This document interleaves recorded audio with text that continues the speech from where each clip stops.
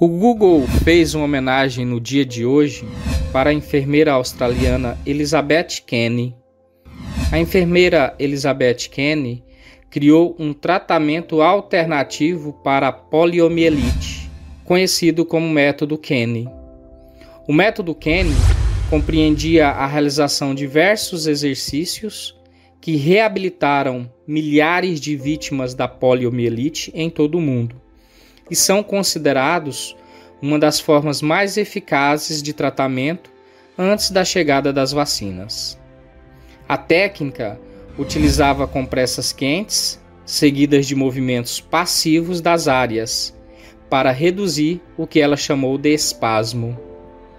Os princípios de reabilitação muscular tornaram-se base da fisioterapia para os pacientes com poliomielite, bem como serviram de base também para a fisioterapia em geral.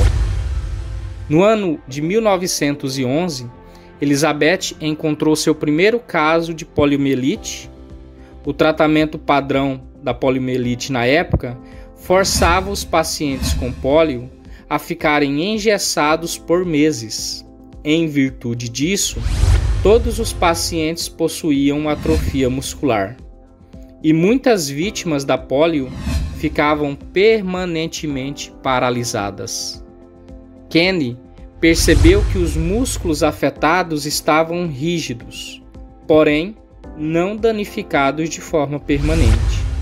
Dessa forma, ela aplicou compressas quentes e úmidas nos membros afetados e realizou exercícios graduais de fortalecimento muscular. Surpreendendo a comunidade médica, o seu método funcionou. A partir de então, os exercícios ficaram conhecidos como método Kenny, e as notícias desse tratamento eficaz se espalharam por todo o mundo. Seu método alternativo foi tão eficaz que ela recebeu diversos títulos honorários.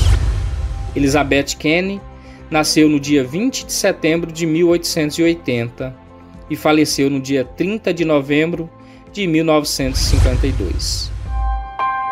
Hoje você conheceu um pouco da história magnífica da enfermeira Elizabeth Kenny, que através das suas observações e da sua assistência se tornou um marco na abordagem a pacientes com poliomielite na sua época. Que esse exemplo possa nos incentivar cada vez mais a buscar métodos e técnicas para a melhoria da nossa assistência de enfermagem e da saúde em geral. Se você gostou dessa história, deixe seu like, se inscreva em nosso canal e compartilhe com seus amigos. Abraço e até o próximo vídeo, pessoal.